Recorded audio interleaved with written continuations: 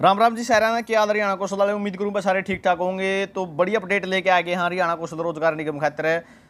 L का बारे में नया लेटर जारी हो गया है। एलटीसी मतलब कि एक महीने की सैलरी एक्स्ट्रा दी जा कर है। तो वुमेन रिसोर्स डिपार्टमेंट की तरफ़ से लेटर जारी कर दिया गया है।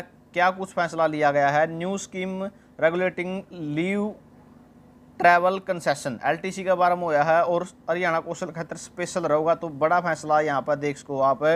After carefully consideration of matter, government has decide that grant of the LTC of employees of and or employee who were hired under outsourcing policy part one can not be granted. तो जो इनको LTC नहीं दी जाएगी भाई, चाहे हरियाणा कौशल रोज़गार निगम का कर्मचारी हो चाहे आउटसोर्सिंग पॉलिसी पार्ट वन का कर्मचारी हो, इनको एलटीसी नहीं दी जाएगी।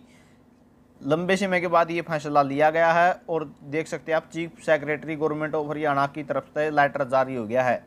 तो हरियाणा कौशल रोज़गार निगम के कर्मचारियों को, हालाँकि बीएमएस जो भारतीय मजदूर संघ है, उन्होंने ये मांग उठाई थी एलटीसी के बारे में कि जल्दी से जल्दी जुलाई के अंदर जो है, जून के अंदर या जुलाई के अंदर जो है एलटीसी जारी की जाए, लेकिन जो है चीफ सेक्रेटरी की तरफ़ से आदेश जारी कर दिए गए हैं कि हरियाणा कौशल रोज़गार निगम के कर्मचारियों को और पार्ट वन आउटसोर्सिंग के कर्मचारी हैं जो इनको एलटीसी नहीं दी जाएगी और हरियाणा कौशल रोज़गार निगम की हर अपडेट आपको मिलती रहेगी।